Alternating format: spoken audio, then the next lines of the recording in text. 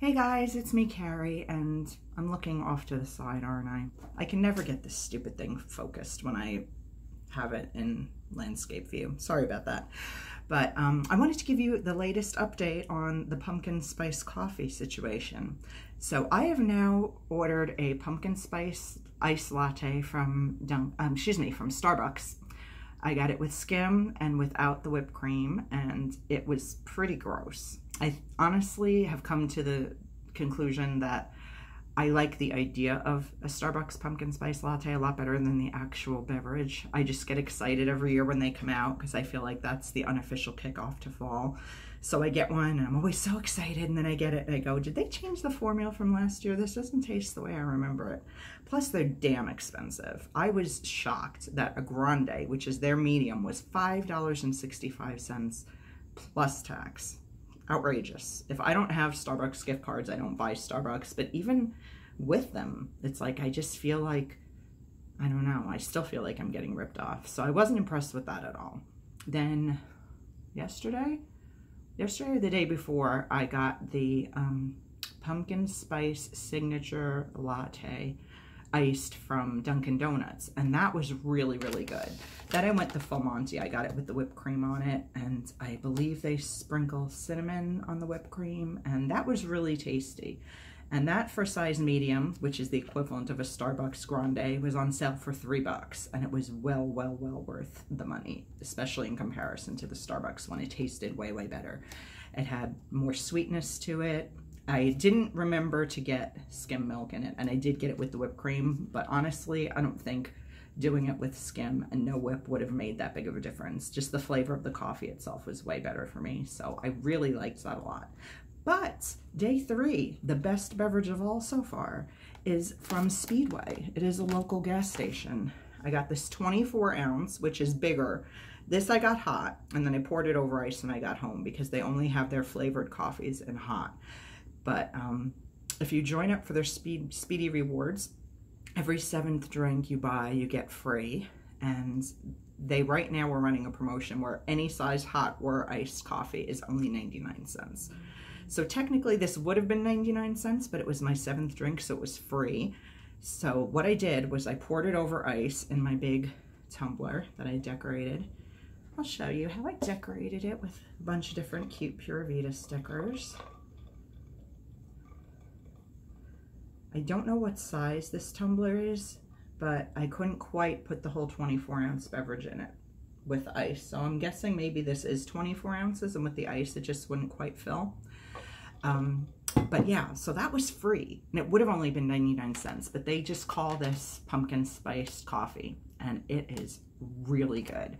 There's a little bit still left in the bottom that you can see because it couldn't, it couldn't quite put it all in my tumbler. Can you see? Oh, shoot, I'm spilling. I didn't think I would spill. It's really frothy. This is with no additional sweetener, so it's pre-sweetened. And yes, I'm grossly eating it off my laptop because I'm classy.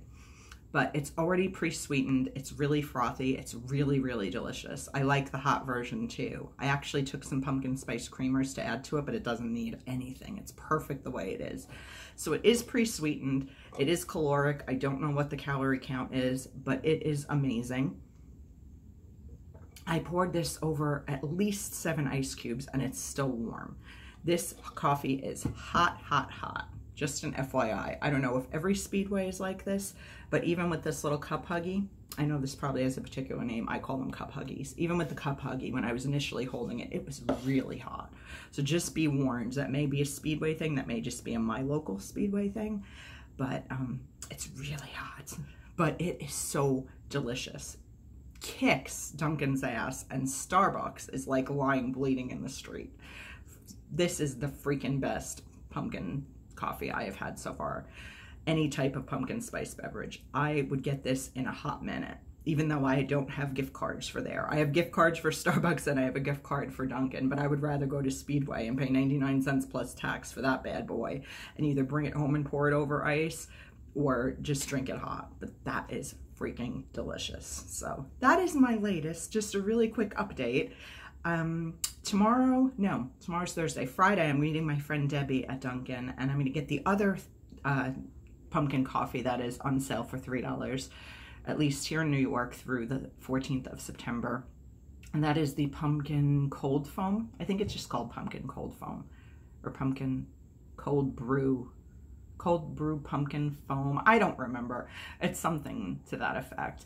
I don't generally like cold brewed coffee. I find it to be more bitter, but with the pumpkin foam, I've heard that the foam is flavored. I don't know if it's pumpkin flavored or if the coffee itself is pumpkin flavored and the foam is flavored with something else.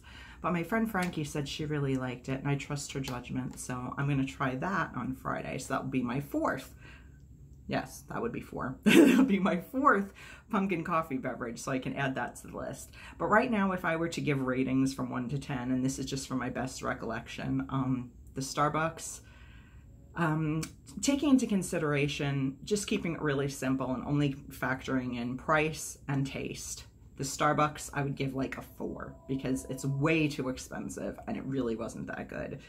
The Dunkin', because it was on sale for $3, um, I don't know what the regular price is. I feel like it might be like $4.59 or something. Even that's a lot better than the Starbucks price. But because it was on sale for $3, I would give that, I think, a good solid 7. That was really quite good. And again, take into consideration the Starbucks I did get without the whip and with skim milk.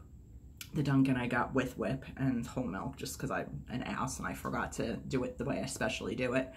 And but that, that this Speedway, even if I hadn't gotten it for free, for 99 cents for this ginormous coffee that tastes so great, doesn't need any alteration whatsoever, at least in my book.